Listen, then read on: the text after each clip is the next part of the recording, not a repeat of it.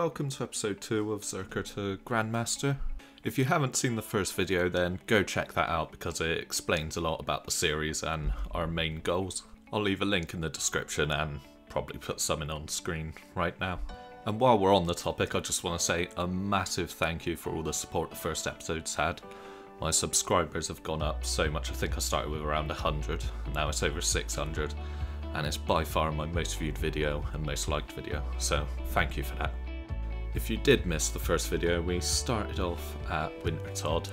We ended up getting the pet as well as the tome. We did a lot of questing, got ourselves a rune scimitar, had our first chance.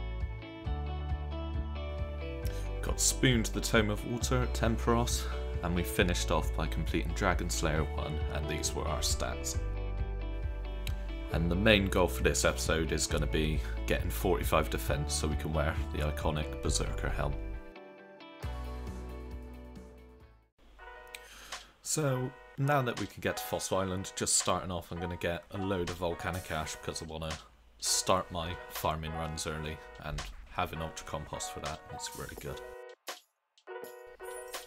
And that is Ghosts Ahoy complete, which gives us a nice one-click telly close to the farming patch. And this new quest right here should take us all the way to 30 farming. Yeah, so that's a really nice head start. So, I don't really know why I decided to do it. I think it was just because I was around this sort of area. But I hated not having any magic robes, so I'm safe spotting these shamans to get the fabric to make some magic robes. Hey, this is Eric's talisman. Nice. That's another RFD subquest done. Slowly getting through more quests.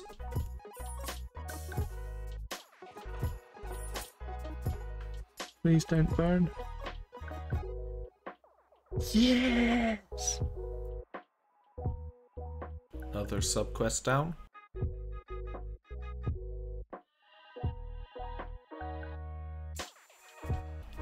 That's Jungle Potion completed. Right, moment of truth. Are we going to be able to complete this quest, or are we going to burn and have to wait? Lovely. Of course we burn it. So, got to wait until we're 65 fishing now for that one. That's alright.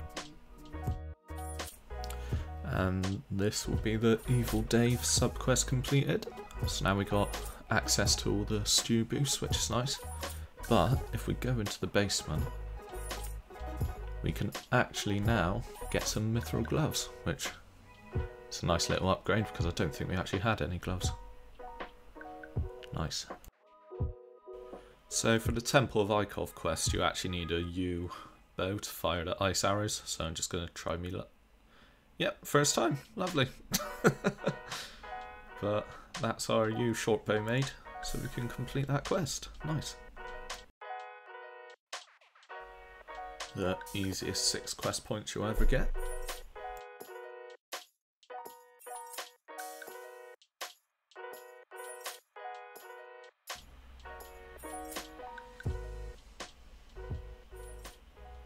Come on, where you going? Oh fuck, fuck, fuck. uh, was that another chance? And there we go we have ice gloves. And that is the hero's quest completed. And that's actually given us a load of levels. Strength, defense, hit points, attack, range, herblore. Lovely stuff. That's Shiloh Village complete.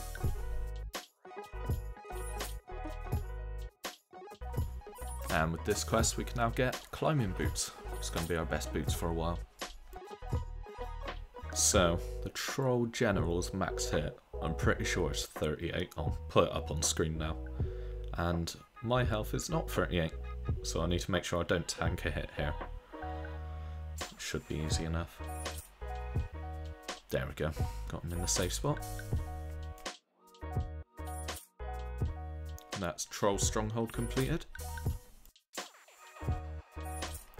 So normally on a Berserker account, you wouldn't complete Holy Grail, but thanks to an update where you can skip the XP training after Monkey Madness, you can now actually complete all of the quests that give defense XP, apart from the one that needs 65 defense, and all the XP adds up perfectly to level 45 defense. So, that is Holy Grail completed, and some nice defense XP and prayer XP. This does not feel right. I know it says it's a safe death, but. ah, still alive. Lovely. If we go and talk to this guy over here, that is the Fremennik Trials completed, which gives us access to. I think actually one of them is our best in slot helmet, the magic one, the Farseer helm. But the Archer's helm and the Berserker helm will be our best helmet for a long time until we can do Nightmare and TOA. But let's go get the helmet. So, one Berserker helm obtained. But we don't have the defense yet. Just a quick pause. What do you think the most badass NPC is in the entire game?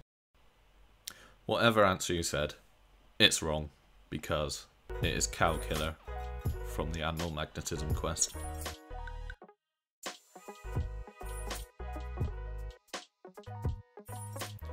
That is Animal Magnetism complete. So now we've got a nice little backpack for our range setup. So for a lot of the quests for Barrow's Gloves I'm going to need protection prayers. So I'm sat here maging blue dragons because I need magic levels as well.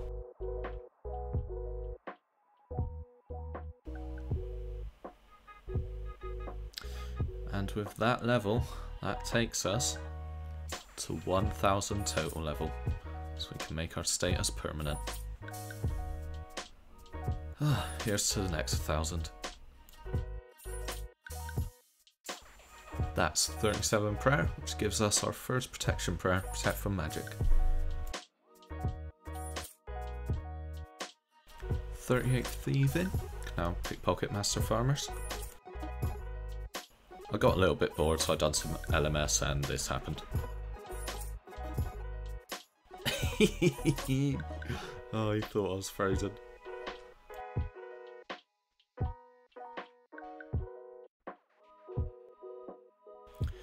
And handing this in takes us to 100% favour. And this is our first of many bird runs on the account. Oh, off. That's not the fish barrel.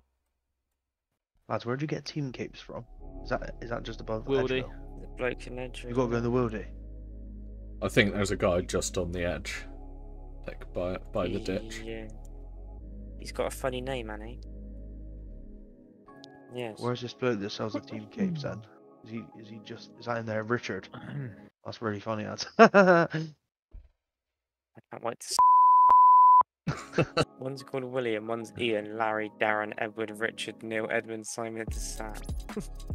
I think Ads has thoroughly overestimated how funny the name Edward is. Funny- I'm not gonna lie. what a funny name.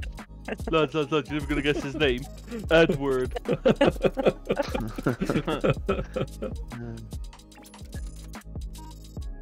Oh, One big day. Jeremy get. Love it. I'm a f- yeah, I don't have 40. oh, for f- sake. yeah, yeah. So I just thought while I was at Fossil Island, get some snake skin so I can make some snake skin boots.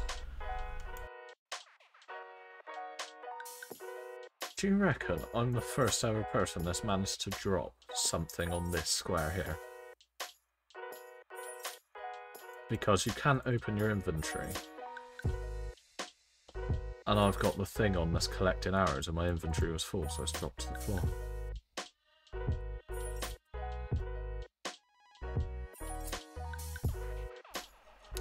And that is 40 range. Right, we're actually back this time. Oh, it's another clue. That's a shame. That's right, I could do it. That is 50 farming.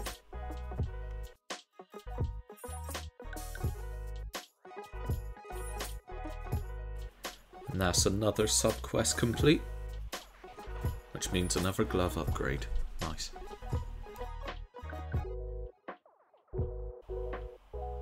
Oh, four ring kite shells. That's a decent elk. And that is 65 fishing, which means that we can go complete that quest and fish as many Karambwans as we want. So, if we take a look at the Tempoross log, we managed to get the Tome of Water in the tackle box. Um, I'm not planning on coming back here anytime soon, it was just to get me to 65 fishing, so it would have been nice to get the fish barrel, but it is what it is. And with that quest done, we've now basically got our food supply sorted.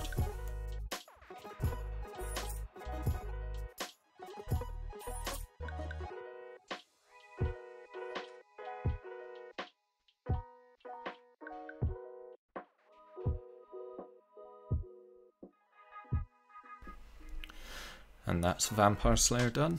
Um, without barely training any melee, we're already 47 attack. That's Imp Catcher, which actually gives us an upgrade on our amulet slot for range. That is 50 magic, so we can actually wield our tomes now. 55 farming.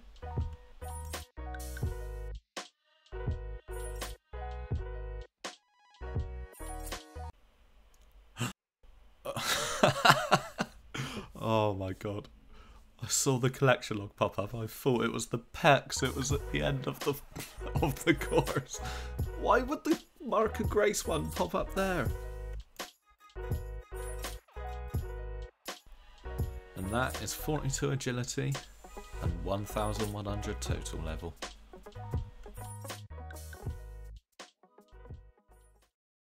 Yeah, something bad happened. I died. We are no longer a hardcore Iron Man. And you're probably wondering, how did you die? Were you trying to do monkey madness without protection prayers? Or boss fight in any other quests? No, I died doing a farm run.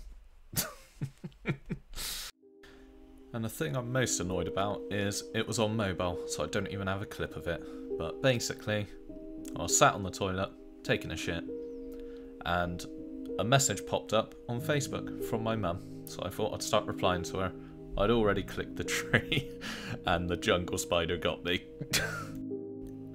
so, mum, this is all your fault. but I got someone from our clan to do a nice little picture, so that's very accurate to what actually happened. So, yeah, thanks, Merv. So, these were my stats when I did die. And two clanmates made a hardcore at the same time as you saw in the first video, one DC'd at Wintertodt. And I was the first one to die out of them, which is lovely. So, what does this mean for the series? Absolutely nothing. We're still going to be going for Grandmaster, we're just not going to have the little red icon next to our name. That's it. Let's go. Holy shit. we just got the pet. so I'm currently task skipping on my main because we're doing a clan bingo. And I just thought I'd AFK some. And And I've got the fishing pet. oh. Literally, about a week ago I got the fishing pet on my main account as well. so we've been sat here for a little while while bingo was going on and we are now at 10,000 for all Karambwans. Every single time I do a tree run, I have to look at you. You horrible little green... Can I say that? So I thought I'd start completing a few diaries because it's a nice, easy way to get some free Herblore XP from the labs.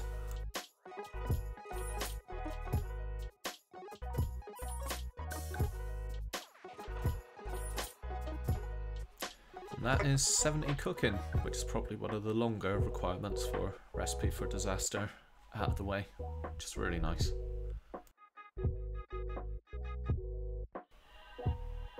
That's 53 thieving, another requirement for RFD. So I decided to be a massive nerd and I done some of the quest speed running because basically it's a free recolor for my graceful outfit. And I want all of my marks of grace to go on stamina potions. So that's that unlocked.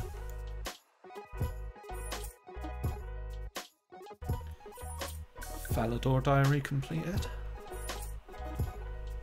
And that's the Kandarin diary completed. Kourend diary completed. 65 farming. Can now kill Hespori. That is 50 agility. Temple of Ikov completed. That's another RFD requirement out the way. Desert Diary completed. Fremennik Diary completed. Varrock Diary completed. Buying our first bits of Graceful. I thought we'd get the top and the bottom because we've got some boots of lightness and a cape that reduces our weight as well. Nice.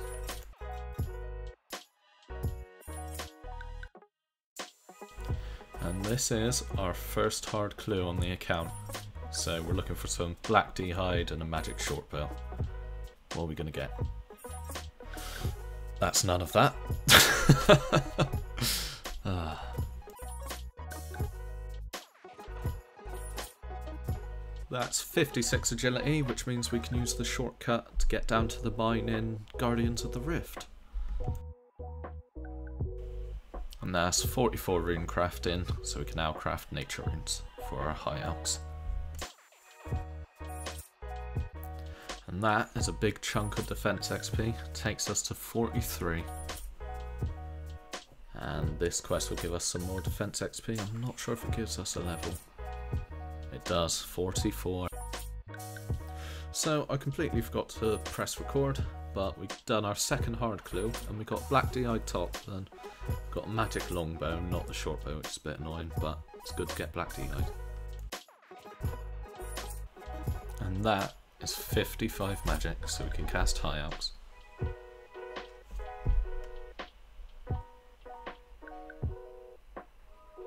Hey, there we go. Whole reason we came here. Got the grapples for the diary. And that's another quest for RFD completed. That's 50 smithing, another requirement.